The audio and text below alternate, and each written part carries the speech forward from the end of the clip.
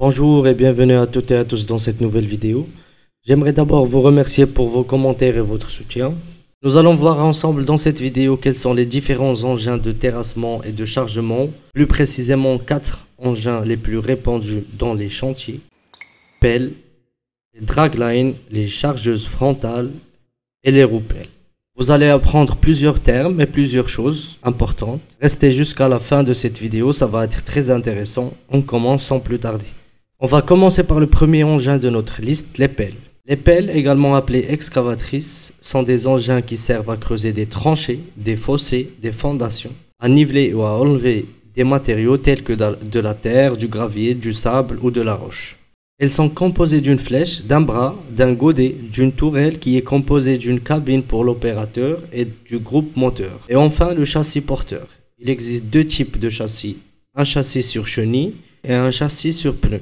Il existe également euh, deux types de pelles, les pelles euh, hydrauliques et des pelles à câble. Les pelles peuvent être utilisées dans une variété de projets de construction tels que la construction de routes, de ponts, de bâtiments et de tunnels. Ils sont également largement utilisés dans les industries minières pour extraire du, minerai et dans les industries de l'énergie pour creuser des fondations pour les, éoliennes ou les pylônes électriques. Les pelles sont disponibles dans une large gamme de tailles, allant des petites pelles compactes utilisées pour les travaux de jardinage ou d'aménagement paysager, jusqu'aux pelles de grande taille utilisées dans les grands projets de construction et d'exploitation minière. Les pelles sont souvent équipées de technologies avancées telles que des systèmes de commande électroniques, des caméras de surveillance et des systèmes de guidage GPS pour améliorer leur précision et leur efficacité sur le terrain. Bien sûr, ça dépend du modèle, selon le modèle. Les pelles sont des engins utilisés pour des travaux d'excavation et de terrassement Voici euh, quelques caractéristiques techniques des pelles. La capacité du godet. La capacité du godet dépend du type de pelle. Pelles hydrauliques ont des godets allant de 0,5 à plus de 30 mètres cubes, tandis que les pelles mécaniques ont des godets euh, plus petits allant de 0,05 à 5 mètres cubes. La profondeur d'excavation. La profondeur d'excavation dépend également du type de la pelle. Elle peut, varier de quelques mètres à plus de 20 mètres. La portée de la pelle correspond à la distance entre l'axe de rotation de la tourelle et l'axe de rotation du godet. Les pelles hydrauliques peuvent avoir une portée de quelques mètres à plus de 25 mètres, tandis que les pelles mécaniques ont une portée plus courte. La puissance du moteur varie en fonction de la taille de la pelle et peut aller de quelques dizaines de chevaux à plusieurs centaines de chevaux. Le poids de la pelle. Le poids de la pelle dépend de sa taille et de sa capacité. Les pelles plus petites peuvent peser moins d'une tonne, tandis que les pelles plus grandes peuvent peser plus de 100 tonnes. Le type de moteur. Les pelles peuvent être équipées de moteurs à combustion interne, essence ou diesel, ou de moteurs électriques. Les pelles hydrauliques sont équipées d'un système hydraulique qui permet de contrôler les mouvements de la tourelle et du bras de la pelle ainsi que le fonctionnement du godet. Les pelles hydrauliques sont généralement plus puissants que les pelles mécaniques. Le système de contrôle. Les pelles modernes sont souvent équipées de systèmes de contrôle électronique qui permet de surveiller et de contrôler différents paramètres tels que la température du moteur, la pression hydraulique, etc. Les pelles peuvent être équipées de différents accessoires tels que des marteaux piqueurs, euh, des, des marteaux hydrauliques, des pinces de tri, des godets spéciaux pour des tâches spécifiques, etc. Voici un exemple rapide d'une pelle, la pelle 4320. La pelle 4320 pèse 22 800 kg lorsqu'elle est en ordre de marche. Son réservoir de carburant a une capacité de 345 litres. La portée de sa flèche est de 5,7 mètres. La capacité de son godet est de 1,19 m3 et sa profondeur d'excavation maximale est de 672 cm. Il existe également un engin similaire à la pelle appelé tractopelle.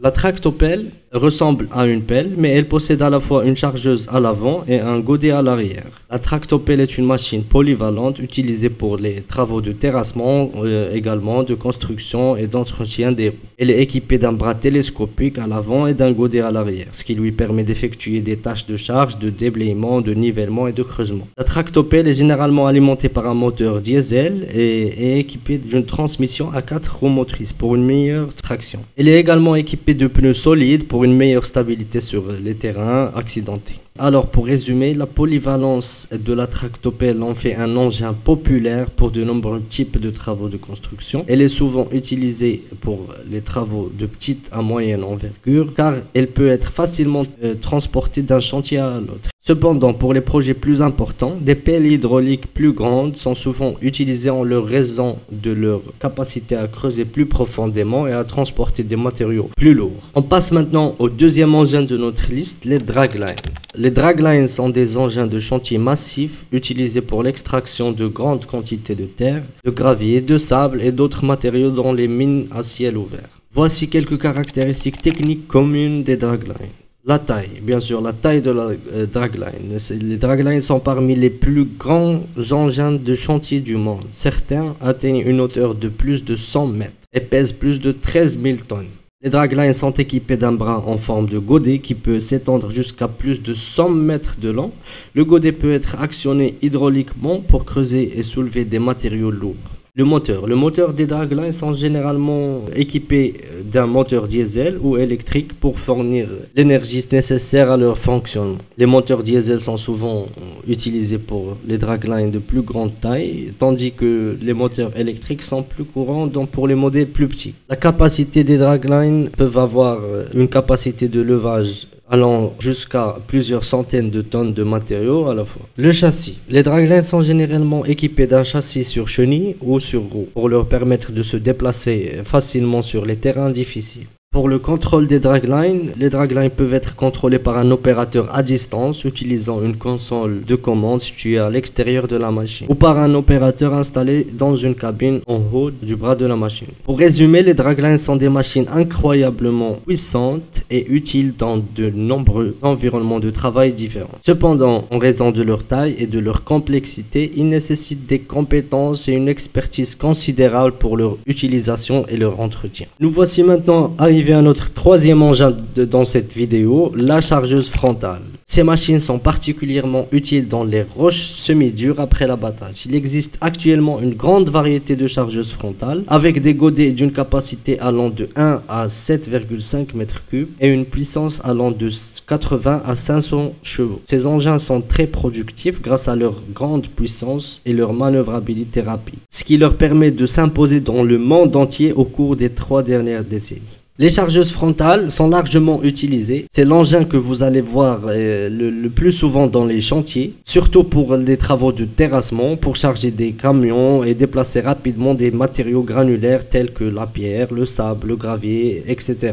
Elles sont également très pratiques pour évacuer les gravats. Il existe deux types de chargeuses frontales, celle sur pneu et celle sur chenille. Les principaux éléments à prendre en compte pour choisir une chargeuse frontale sont la capacité du godet, la puissance bien sûr et le poids de l'engin ainsi que son prix bien sûr. Les caractéristiques techniques d'une chargeuse frontale varient en fonction du modèle et de l'application spécifique pour laquelle elle est utilisée. Voici quelques caractéristiques techniques courantes que l'on peut retrouver sur la plupart des chargeuses frontales. La capacité de charge. La capacité de charge d'une chargeuse frontale est la quantité maximale de matériaux qu'elle peut soulever et transporter. Elle peut varier de quelques centaines de kilogrammes à plusieurs tonnes en fonction de la taille et du modèle de la chargeuse. La puissance du moteur. La puissance du moteur d'une chargeuse frontale est un facteur important pour déterminer sa capacité de levage et de déplacement. Les moteurs peuvent être alimentés par des carburants tels que le diesel, l'essence ou bien un moteur électrique. Le poids en ordre de marche d'une chargeuse frontale est le poids total de la machine avec tous les accessoires et le carburant y compris. Ce poids est important pour déterminer la capacité de charge de la chargeuse ainsi que pour le transport et le stockage. La hauteur de déversement. La hauteur de déversement d'une chargeuse frontale est la hauteur maximale à laquelle elle peut déverser les matériaux qu'elle transporte. Cette hauteur peut varier en fonction de la taille et du modèle de la chargeuse également. La largeur du godet. La largeur du godet est la largeur maximale du godet frontal de la chargeuse. Cette mesure est importante pour déterminer la quantité de matériaux qu'elle peut soulever et transporter à chaque fois. La vitesse de déplacement. La vitesse de déplacement. La vitesse de déplacement de la chargeuse frontale est importante pour la productivité ainsi que pour la sécurité de l'opérateur et des autres travailleurs sur chantier. Le système hydraulique. Les chargeuses frontales sont équipées d'un système hydraulique pour le fonctionnement du godet frontal et d'autres outils. La pression hydraulique et le débit ont des caractéristiques importantes à considérer pour déterminer la capacité de levage et la vitesse de fonctionnement de la machine. En résumé, une chargeuse frontale est un engin de chantier polyvalent qui permet de manipuler des matériaux lourds et volumineux de manière efficace et sécurisée. Nous voici à présent arrivés à notre quatrième et dernier engin dans cette vidéo, la roupelle. Alors, la roupelle, c'est une excavatrice de grande taille qui possède une roue à plusieurs godets. Cette machine utilise la roue à godet pour déposer les matériaux sur son tapis flèche qui lui permet de les amener vers le convoyeur, le convoyeur de transport. Elle est utilisée pour creuser des tranchées, enlever de la terre, du sable ou des gravats, etc. et pour transporter bien sûr des matériaux d'un endroit à un autre. La roue de la roupelle a un diamètre qui varie de 3 à 22 mètres selon le modèle et porte de 6 à 18 godets d'une capacité allant de 10 à 6600 litres. Le mouvement de rotation de la roue permet au godet d'attaquer euh, un terrain et de se remplir. Une fois que le godet atteint sa position euh, la plus haute, il se vide automatiquement et le produit arraché tombe sur le transporteur à pente placé à l'intérieur de la flèche de la roupelle. Voici quelques caractéristiques techniques d'une roupelle typique. Le poids. Le poids varie entre 15 000 à 25 000 kg. La capacité de charge. La capacité de charge à partir de 2 000 à 4 000 kg.